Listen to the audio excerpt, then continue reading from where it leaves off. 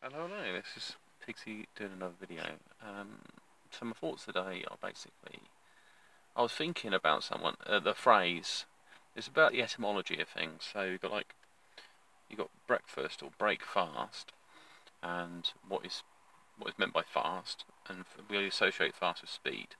So if someone's fasting, there's processes in their body that are speeding up, and the only way someone would know that is if they had some in the past medical knowledge. So it could be healing, it could be some other factors in there. We know that autophagy increases. These processes naturally occur anyway, but they occur quicker in a faster state. And then we also use a phrase for that person's fast asleep. Now fast and sleep doesn't really make sense if you look at the way the word's sort of constructed. So they're fasting. So the reason they're well out of it is because there's a process that their body's speeding up and so they've entered a, deeper sleep. And that's why they're fast asleep or harder to wake up. Otherwise it'd be slowing, they're slowing rather than they're fast, or some other phrase would have been used. So the origin of that word fast would be interesting to look more deeper into it. Where it actually comes from the root of the root part of the word. It could have amalgamated from different cultures, which happens I mean with the English language definitely. But there's also what retained within the language was more ancient uses of language as well, because they, they would be the same in different cultures. So they kept them. Like, oh, yeah, word means that.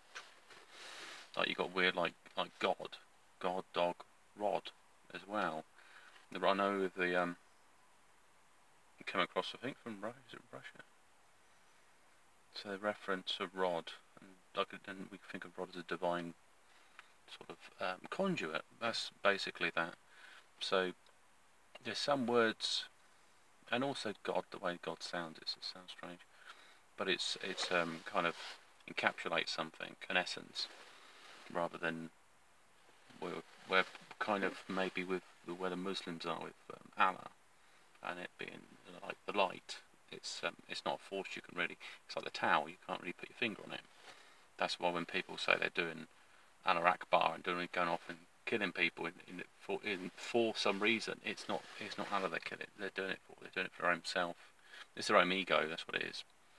They've um, they've become um, caught up in a shroud, and um, and it might be in essence you might say uh, Shaitan, which they'd have as their um, Satan, or they're under the a dark influence because no being of light wants to just do um, go around chopping people's heads off because it makes no sense whatsoever um, a lot of the um, Sharia laws are the interpretations people got from the Quran and put it into a book of law. And I think that's why different Muslims practice different things in that sense. And that's why the ones with veils. So when someone makes a joke about burqas and things like that, that's only a set group of um, Muslims. It's a bit like if someone took the mickey out of Catholics. That's a form of um, a form of Christianity, Catholicism, but it's slightly seen something slightly different. Or Jehovah's Witnesses, they come under fire from from Western society as well because they kind of free. It's I tell you what draws attention and makes them become targets for people to sort of say, hey, look at them. It's the, the secularism. They um, by not being involved with a culture and pulling away, it makes you alienate that culture, and so they they point that out. That's what they're doing. If they make kind of these jokes, this is why you know, there used to be jokes about English and Irishmen and Scottishmen, but I guess there's no point nowadays because everything's mainstream and it's more connected. There's not that division. They're not like that culture's over there and this is us, or a deflection of our own weaknesses culturally. So there's much more to it. Um, so there's a lot to learn really. Um, it's quite beautiful in one way, um, the culture, and also English. Some say, I remember the phrase um, Santos, a chap called Santos, he called it Anglish, which is like angel, angel language. And in essence, there is true because of um, what's also been seen by different cultures is if you can sing, if you sing within a, a language, because it has an effect emotionally on them, that's seen as perceived as, and it's has a consciousness construct to it. It is considered magical, and the reason, other thing as well, it's not not just um, the language of the mind. It's it's utilising the heart and often the root from our Greek uh, Roman ancestry from for the UK is that we're very focused in the, the philosophy, the psychology, the mind, and it becomes an over obsession with the mind. But then we forget to feel things. How do you feel about that? You know, we just say, "What's your thoughts on that?" And they try to see the emotional stuff as some kind of like byproduct of of the mental stuff, when actually it's the it can be the complete reverse. And then you get away from thinking about what's about your mind, what do I need to do? You know, people like tapping their head and stuff when they're sort of stressed out. They just stop, centre themselves, and they realise the knowledge comes from a, a deeper part of them, the intuition, everything else that's much more um, deeper inside. And I, I, think it's only when you kind of start to activate um, chakras that you get a, a deeper understanding of um, of energy. There's no point saying, "Oh, this is chi," because you can sense chi, but you to manifest it, and then everything else about it is much more complicated. A lot of it relates to, um, to the nervous system as well. Um, that's why I say with a certain yoga techniques I've been doing with, with the heartful meditation, it's opened me up to new avenues, and it's just quite important. because um, you can feel sense energy there, and that's a kind of going to work at building that connection. It's every muscle, everything, every neuro, neuro function. It requires effort and work. Otherwise, it seems to cease to be active. It goes into a kind of dormant state, and that's why it's quite important to sort of um, pursue a line of development. Really, progression. It's more more to life than money. Um, I think that's one thing to, to explore.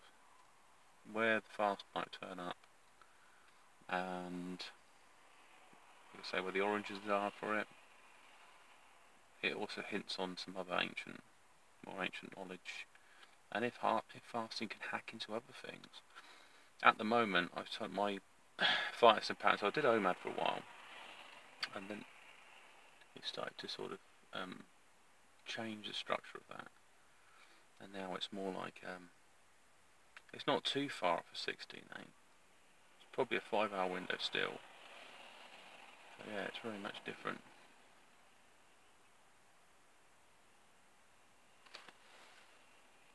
Yeah, the window's very much um, different than it was. And you've got to, see the thing is, your body ad adapts and then it improves as well. So I'm still having the improvements. I still have to listen to my body. If I don't feel like eating, I shouldn't eat at all, so you just don't.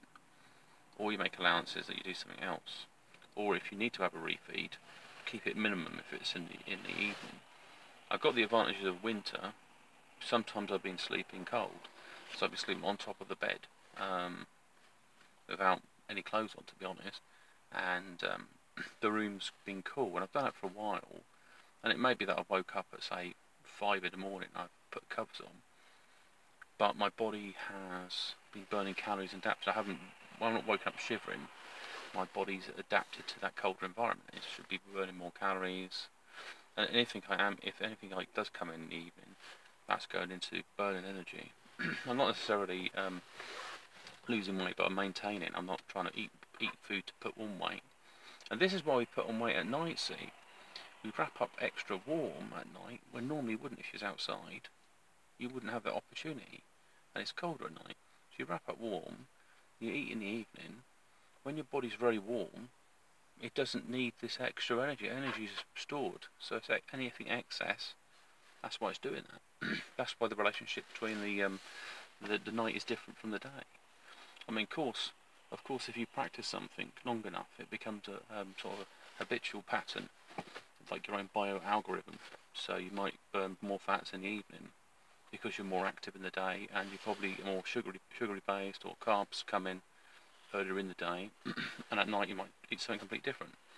And um, if you're not eating much in, in, the evening, you're probably going to switch over to um, burning your fats. That's ideally where you would be. But then when you get balanced, your fasting gets more balanced. You know, I'm not really getting insulin spikes. Sometimes I notice them. If you have a lot of sugar, you feel knackered, you feel tired because you have this thing about your um, body becoming um, insulin resistant and that has an impact. um, when you have sugars and things. It just becomes, for your body, it's like really hard work all of a sudden. It's like if you have a massive meal, you think, crikey, I feel tired, and then you go out for it. You know, you just need to a little sort of half an hour re, sort of reset. Um, to less that that's happening, it's also hormonal, and do with a thyroid. It sort of overloads the system. Um, and just noticing how my body reacts to things. Like at the moment, my stomach's quite warm, and I probably ate a few hours ago, maybe three, three hours ago, three or four hours ago. Um, based on the time, yeah, I probably ate about um, about eleven o'clock. Now it's about three o'clock. So um, body body generates a lot of heat. I don't feel thirsty necessarily. I don't feel hungry. I'm likely I will drink tea anyway. The other thing as well is I don't have the the, the kind of the advantages I would if I was my a sort of more native version of myself. Um, because when it's dark, I don't just settle down for the night. I have to keep on working, and the problem with that is that my body gets of to slow down, like switching gears. It wants to go on a lower gear, and I can't, which is a bit annoying. But then again, I don't have something to sort of um, basically bolster that up. So like having loads of caffeine and stuff, because that just throws out your system. You get to night and you think, well, I can't sleep now, and then the next day you feel really tired. So you want to get it, you want to get right whatever you're doing. but fluid intake, also whether you what type of food you eat, how how long it takes to get through your body. I mean, if you're having something that takes um, a long period of time to get through your body, then you're still going to be absorbing nutrients through as it's going through and you may your body will level off as it's eating. It will say, right, well, this is this is digesting. Your certain hormones will come into play depending on what you're eating. Um, because it just takes that time to break that food down, and um, your body knows it's you know it's an intelligent organism. It knows what it's absorbing, and um, it could take so many hours. I mean, possibly sometimes I've eaten things and they've taken I would say up to about eight, they could take eight hours to get your system. But usually, something you've eaten lunchtime, by the next day, next morning, you probably, if you go to toilet in the morning, then it's probably out of your system. And if you're eating an OMAD style lifestyle, or things you're more, more aware of your bowel movements. Um, and I find sometimes I eat food, and then afterwards it triggers a, a bowel movement. That's because your body's in a rest state. So when you've kicked it into a gear, you know, it's woken up a bit more, and so that usually happens. But yeah, there's some, some thoughts on sort of um, fasting. I mean, I've probably got to move things in new directions because the body's adaptogenic and uh, it adapts to new circumstances. So you need to present it with new problems in order to get new resources. Um, I've had a injury in my back. I think I caused it due to some combination of um, wear and tear um, from work and activity, um, maybe some poor posture, and um, possibly as well certain exercises might have been have overdone them. Just swinging um, kettlebells around, but it's a bit of a hair of a dog. If you use the kettlebell, so, so now it's better. I started using it. I noticed a part of me was clicking as I was doing something. I did it quite a lot lighter, and I think it's just pulling in some some muscle. It's like it was out of out of place basically. But the um, the body in essence is like an instrument. It's it's, um, it's calibrated to the, tension in areas of the body, and if you don't get that balance right, other sides of the body will suffer instead because the balance isn't quite there. So um, that's an area of work to do. Um, I had some. I tell you what, on a more spiritual thing, I had this dream and it had these rocks, and I got recently got this rock that's quite, um, um, I think it's obsidian, and it's um, polished up. I can remember getting this thing uh, like a black mirror, so I was going to look at that. You know, it'd be interesting to use that. But I had this dream, these rocks, and they like they were like um, like cockroaches. There's a little rock walking around. I noticed it was walking around this ground, and I don't know where it was. It's some different place this other one come along quick and, and just swallowed it up. I thought that's weird. And I thought these these things, because I know they're rocks, but they were all they were living, and it was just a very strange, surreal dream. But it also highlights the fact that we think we know what's out there in this universe, but there may be things we have never encountered before. Um, and we shouldn't rule out that, that maybe at some point technology may have evolved to um, a sentient level. So there may be some synthetic life forms out there that have been created by, well, see, we always um, pertain to this, there's always the ancient sort of alien theory on, on human origins that we could have been tinkered with, influenced, and that could be from multiple sources. That could be from viruses and things added to the environment. It could be from direct genetic manipulation. It could be all sorts of things. It could have been hybridization. Um, it could been that we was, was completely tailored from the start. There's some stuff about the um, X gene in the human genome that's sort of um, fused, and it's not natural to have that combination in nature. But then again, when if a, a proper geneticist looks at something, he will follow the follow the narrative to keep make sure he gets paid, but he knows there's a lot of things that don't make sense. Like um, I know they said about octopus DNA doesn't even doesn't match anything on Earth, so it's it doesn't make any sense. You know, I mean there's cuttlefish and there's other things, but the actual genes in there, there's loads of them that just don't they're not not match up to anything. So they talk about the likeness of genes looking like. So they're looking for, at them and saying, well, that's the same gene but it's like a language, so it doesn't really, you know, it's it, it might be similar, but it just shows the artist is using the same tools.